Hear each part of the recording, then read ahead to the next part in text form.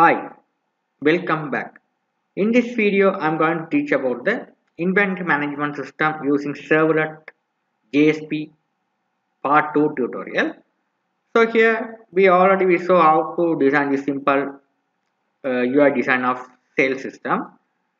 Uh, so here let me continue the stuff. Now here we have done it the simple one, right? index.jsp page. So this is a simple page, right? So now here what I'm going to do is we have done uh, do it here. This one we no need it. Only we have to import the JS, uh, jQuery plugins. This is very important stuff to import the jQuery plugins. So how to import the jQuery plugins here? This one we we know we need this this this things right? jQuery min.js. Okay, this one must. So how to write it here? As you have to type script you can write script. Src equal here you have to paste the file. So how to get get get this one? Go to google type uh, jquery this one. jquery min.js you just type it. Press enter key on your keyboard you can take it from the W3 school. Here you can take it. This serial, this link. Otherwise, you can copy entire script, copy it and paste it over here. This is not here. Paste it over here. That's it. Paste it over here. That's it. That's the thing we have did it here okay? Right? That's the only thing you have to do. This one we don't need. This one. Right? After that this one the jquery validate.js you can this one you have to put it over here and get the this one also we have to do it for working the jquery part. The jquery right? You have to go to cdn js this one this cdn also you have to copy and paste it copy and paste it over here. That's the thing you have to do right? Validate window. These two files are very important stuff while you make the uh, inventory management. This we used to we have to validate. After that we have to import the script. Start with the script and close the script. Here. Uh, right. Now here this one also source code so, uh, shortcut keys we don't need at the moment so here this is basic stuff. Right. First you have to write the uh, we have create these variables. Is new true. This one we don't need them. Item null we have create them. Okay. After that what i'm going to do is here first if you type the relevant barcode details the according to the details should be displayed on the product details should be displayed on the this uh, fields. Product name price. So how to do the task here is here we have to create a function product code open bracket and close bracket. Inside here we have to write the ajax simple ajax query over here right? How to write the ajax you can start from like this. Ajax post type post url this is a url it goes to this URL to find the product ID. It goes to this product URL uh, and find the product ID. Data type we have used as data JSON format. Data will be traveled into the JSON format. Okay. So the data, what is the barcode ID you are typing on this text box? Here this uh, text box. So it will be getting the text box, the barcode. They assign the variable A. After that, what I'm going to do is if the barcode is found it's if the barcode is found let's go and check the barcode. If the barcode is found it take the details and here. So how to go to this one? It goes to the uh, this is the product. The product folder. Inside the product folder you can see here get product get id jsp okay so here you don't worry don't confuse about this one. In early video i will show you how to make the design only. This other stuff if you have put uh, write the code and explain take too much of time to cover this for, uh, projects for you. It's so boring. So that whatever i done i'll be explaining it easy to it reduce the time to cover off this all the projects to you right? So here you have tried this is the this how you have find the barcode id it's a very simple code okay in order to do this one we have to download this libraries. This this file mysql libraries and json simple. Then only will be these three uh, jar files we have to download. Okay so mysql connector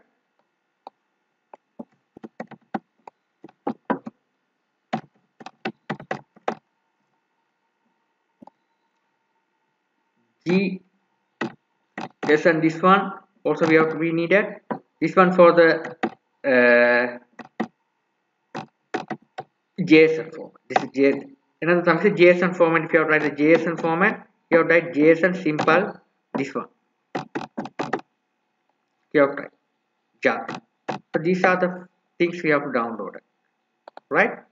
So I will give you this jar files if you don't worry about that if you don't have I'll give you. If you if you if you need you just copy and go to the Google and download them. This one. Okay you just go to the uh, MySQL connector for Java. You type MySQL for Java.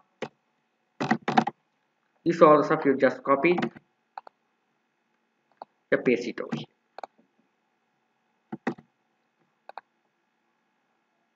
You download this one. The same thing you are downloading this as well. Copy it. Paste it over here. You can download this one. You just click. And then download the jar. Okay. This one from maven. At the moment in this project i am not using the maven. Okay dependencies. So we have to go here and download. This one the G, G, GSN. This one also needed. So go to here and download the those these libraries as well. Here, all the jar files are there. You just go and have it. These are the sites you have to have it. Right? Don't worry about uh, also the source code I provided in my website. How to download them all source I provide. Okay, don't worry about that. This is simple way. This is how we have to get the barcode so after that you have to if you import this one into the live your downloader and you can right click and add jar, jar folder. What is the jar folder I import it all jar folder you have to import it here. Click and you have to import like this. Whatever you downloaded. Then only you will be able to write the code. This code is this is this class is reside on this one. This libraries. Json simple this library this is all the class okay if you are type this one it automatically import the these libraries and all right? After that we have write the prepare statement. This is the our mysql driver registration. After that what is the value you are getting? Here. Here you are sending the value. Barcode you are sending the value to a. The a we are receiving here. And put into this al variable after that we are this is our our, our database is reside on localhost jsp pos root this is the database right? Okay this is the database right? After that we, where we have shown you the exact location where your database is reside on. After that we have to write the query to get the product id so select all from products where barcode id what's the barcode id you are typing you are putting this variable this is variable you have to put it as a prepare statement here this okay? So set it here. What's the barcode code we are typing? If it is match if it is matching the table so here if rs next is true if it is matching the relevant product details should be displayed here. We are setting to the display and setting to the variables. After that we have to send it back to the our form as a JSON form, JSON object model. Okay, JSON object model. So JSON object, you have right here. So how to type json put this name. This name you put it equal equal this one. This so this these two things are goes to the page. Okay so let's check. A page is a page. A page if you type the this one oh, display here. Right click you can check here impact. Go to the console you can check here. Uh, not this.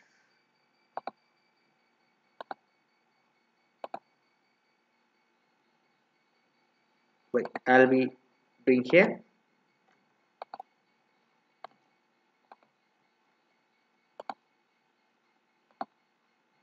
Right now here if you type the barcode.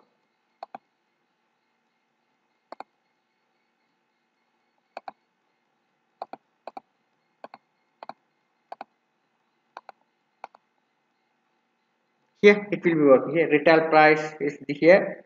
This this this is this this is this is coming from here. It is sending to sending to the list to here output print list to json string it will be convert and send it back into a this page. Which page? This page. It getting the values. It it will be getting the values. It will be getting the values. Here product name retail price and put into this text field okay this is the empty text field so we have to put it here empty. So you have to write as a html data like this after that it will be set it here and focus the it asks to enter the quantity. It focus the quantity text field over here. It is pointing of the current quantities here. Okay if the if you enter the uh, quantity belong this range what is the quantity you already have in the table? If you are installed if you have entered more than that we have to show there. So that's why you have to current quantity we check the current quantity is all the must when you are doing the inventory management system. Okay this is we are finding the product code. This one should be must right? Uh, i hope you guys you understood things well. Uh, in my next video tutorial i'll be explaining how to uh, add the details to the product table and store the value to the database and all stuff you have to show in my next video. Uh, thanks for watching